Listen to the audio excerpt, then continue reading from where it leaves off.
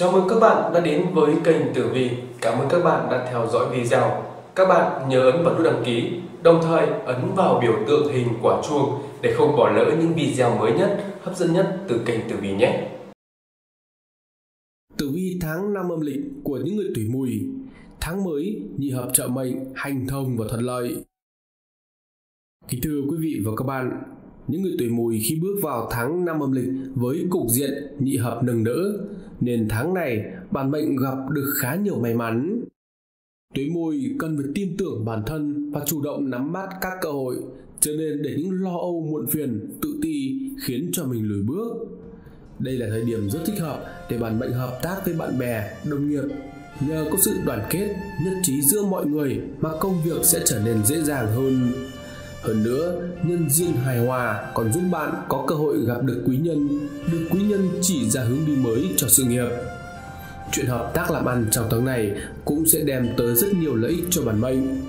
Bạn có thể làm quen được với rất nhiều những đối tác, những khách hàng triển vọng, giúp bạn kiếm được rất nhiều tiền vào trong túi. Nếu như có ý tưởng kinh doanh nào mới thì bạn nên mạnh dạn triển khai trong tháng này dù có thể bạn sẽ phải vất vả nhiều hơn lâu nhiều hơn song tương lai lại vô cùng triển vọng Vậy thì tử vi chi tiết trong tháng năm âm lịch của những người tuổi mùi sẽ như thế nào? Để tìm hiểu thì ngày hôm nay kênh tử vi xin kính mời quý anh chị và các bạn chúng ta cùng nhau đi tìm hiểu ở trong video dưới đây nhé. Tổng quan về tháng năm âm lịch Trong dân gian, tháng năm âm lịch hay còn gọi là tháng ngọ được ông bà ta gọi với cái tên đó là tháng cửu độc hay còn biết đến là tháng có rất nhiều những điểm báo, điểm không may, xui xẻo kéo tới. Tháng 5 âm lịch năm 2023 Quý Mão bắt đầu từ ngày 18 tháng 6 năm 2023 cho đến ngày 18 tháng 7 năm 2023 dương lịch. Tháng 5 âm lịch rơi vào tháng Mậu Ngọ thuộc tiết Mang Trung. Từ xa xưa, vào tháng năm âm lịch, con người chúng ta mắc đủ thứ bệnh nên mới xuất hiện quan niệm về tháng độc. Tháng này là tháng chủ về hành hòa, trở nên vô cùng mạnh mẽ, dương khí đạt tới cực đỉnh và phát tán ra bên ngoài. Các hoạt động như ăn uống đồ lạnh, da mối trộm hoặc sinh hoạt tình dục đều có thể dễ khiến tiêu hao rất nhiều năng lượng Thời điểm này cũng trùng với mùa mưa, nhiệt độ tăng cao, không khí ẩm ướt, năng lượng bị tắc nghẽn, ta khí gặp ẩm thấp lại càng sinh sôi. Một khi nhiệt ẩm làm tắc kinh mạch khí huyết thì sự trao đổi chất của cơ thể con người cũng rất khó lưu thông, khí huyết bị ngưng trệ, sinh ra rất nhiều bệnh tật. Tháng năm âm lịch có 9 ngày được gọi là 9 ngày động trong tháng đó là ngày mùng 5, mùng 6, mùng 7, ngày 15, 16, 17 cùng với ngày 25, 26 và 27. Đây là những ngày mà trong dân gian đôn đại là thời điểm thiên địa giao thái cửu độc nhật. Các loại độc trong trời đất sẽ cùng tụ lại vào những ngày này. Ngoài ra, còn có ngày 14 âm lịch cũng được liệt vào những ngày cấm kỵ trong những ngày này chúng ta thường phải khiêm nhường đoan tràn cấm kỵ sát sinh, hành lạc, nếu không sẽ tổn hào nguyên khí vô cùng nghiêm trọng. Ngày thiên địa giao thái được tính là thời điểm do tý của ngày 14 tháng 5 âm lịch là lúc mà tứ thiên vương tuần hành. 9 ngày này là 9 ngày cửu độc và ngày 14 tháng 5 là ngày trời đất giao thái. 9 ngày thường tích hao tổn sức lực và sinh khí được gọi là 9 ngày độc trong thời cổ đại. Luận theo tiết khí thì tháng năm âm lịch là thời điểm mà dương khí cực vượng tăng tiến tới đỉnh điểm và bắt đầu sinh phát. Người ta gọi đây là thời điểm thiên địa giao thái. Trong vũ trụ, hai nguồn khí âm dương pha trộn vào với nhau không thể phân biệt. Loài người lại được coi là linh khí của vạn vật do hai nguồn khí âm, khí dương hợp lại mà thành. Và lẽ đương nhiên, khi hai nguồn khí này có sự thay đổi, sẽ ảnh hưởng trực tiếp đến cơ thể con người, gây ra đủ loại phản ứng cả tiêu cực lẫn tích cực. Trong các cổ thư về đông y thì tháng năm âm lịch thực tế được dùng để chỉ rằng từ tiết mang trùng tính cả 3 tháng là tháng tỵ, tháng ngọ và tháng mùi đây là thời điểm mà dương khí trong cơ thể con người bị phát tán ra bên ngoài. Tất nhiên sẽ khiến cho con người rơi vào tình trạng suy kiệt. Lúc này các cơ quan nội tạng bên trong cơ thể sẽ bị yếu đi dễ bị nhiễm hàn ta khí bên ngoài cũng nhân cơ hội mà xâm nhập. Đặc biệt, đây là thời điểm mà vi khuẩn, vi sinh vật sinh sôi nảy nở, phát tán ra không khí. Tiến hành chuyện phòng the vào thời điểm này sẽ làm tổn hào dương khí con người, nội khuyết âm khí, ngoại tán dương khí, ta khí bên ngoài vượn phát, việc động phòng sẽ gây rất nhiều bệnh tật. Bên cạnh đó thì luồng khí hậu này cũng thuận lợi cho các loài rắn, côn trùng, chuột, kiến sinh sôi cũng như các loại vi trùng khác làm trầm trọng thêm việc lây lan dịch bệnh. Vì vậy trong phong tục dân gian, người ta thường cắm những que ở trước cửa, uống rượu, ngâm mình trong bồn ngải cứu nhằm mục đích trừ tà, tẩy uế, giữ gìn sức khỏe trong tháng năm âm lịch.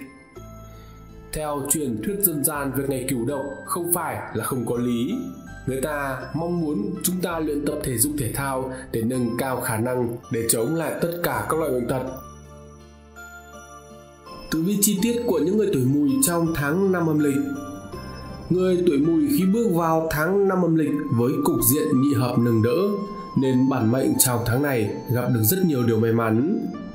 Tuổi mùi cần phải tin tưởng vào bản thân mình, chủ động nắm bắt các cơ hội, cho nên để những lo âu, những muộn phiền, tự ti khiến cho mình lùi bước. Đây là khoảng thời gian rất thích hợp để bản mệnh hợp tác với bạn bè, với đồng nghiệp. Nhờ có sự đoàn kết, nhất trí giữa mọi người mà công việc sẽ trở nên dễ dàng hơn hơn nữa, nhân duyên hài hòa còn giúp những người này có được cơ hội gặp được quý nhân, được quý nhân chỉ ra hướng đi mới cho sự nghiệp. Chuyện hợp tác làm ăn cũng sẽ đem tới rất nhiều lợi ích cho bản mệnh. Bạn có thể làm quen được với rất nhiều đối tác, những khách hàng triển vọng, giúp bạn kiếm được rất nhiều tiền về trong túi. Nếu như có ý tưởng kinh doanh nào mới, thì bạn nên mạnh dạn triển khai, dù có thể sẽ phải vất vả nhiều hơn, lo nhiều hơn, song tương lai là rất triển vọng phương diện tình duyên thì cũng khởi sắc rực rỡ. Tháng này được bách việt chiếu mệnh, thì con giáp này rất dễ trở nên nổi bật trong mắt mọi người xung quanh. Người độc thân thì dễ nhận được lời bày tỏ hoặc là ngỏ ý làm quen từ người khác giới. Bạn cần phải mở lòng mình thử cho người đó một cơ hội để xem sao. Chi tiết về phương diện sự nghiệp của những người tuổi mùi trong tháng năm âm lịch khi bước vào tháng năm âm lịch với nhị hợp nâng đỡ, sự nghiệp của những người tuổi mùi có cơ hội bước sang một trang mới. Bản mệnh cần phải tự tin hơn để có thể nắm bắt các cơ hội xuất hiện ngay trước mắt, khiến người khác phải nhìn bạn bằng một con mắt khác xưa. Tháng này, bản mệnh xây dựng được những mối quan hệ xã giao hài hòa, nên làm việc gì thì cũng có người giúp đỡ, cũng có người chỉ điểm với những công việc nhóm đòi hỏi sự hợp tác giữa bạn và đồng nghiệp, làm ăn ăn ý với nhau, khiến những nhiệm vụ tưởng chừng như khó khăn cũng được giải quyết một cách vô cùng nhanh chóng. Tháng năm âm lịch, nhận thấy rằng tuổi mùi còn có cơ hội gặp gỡ được quý nhân ở trong thời điểm này. Đối phương có thể chỉ ra cho bạn những điểm yếu để bạn nhanh chóng khắc phục, hoặc là chỉ ra những hướng đi mới để bạn rèn luyện bản thân, phát triển theo hướng mới, triển vọng hơn điều con giáp này cần phải khắc phục, đó là tính hay lo hay nghĩ nhiều của mình. Dưới ảnh hưởng của nguyệt lệnh lâm đất suy, thì bạn thường xuyên suy nghĩ quá bi quan khi đối diện với những rắc rối bất ngờ xảy đến. Lúc đó, hãy tin tưởng bản thân mình nhiều hơn, bởi vì bạn vốn là người có tài đừng vội vàng bỏ cuộc. Hãy coi những khó khăn là cơ hội để rèn luyện bản thân mình, để mình càng ngày càng trở nên xuất sắc hơn chi tiết về phương diện tài lộc của những người tuổi mùi trong tháng năm âm lịch Tài lộc của những người tuổi mùi trong tháng năm âm lịch có rất nhiều cơ hội cải thiện trong tháng này.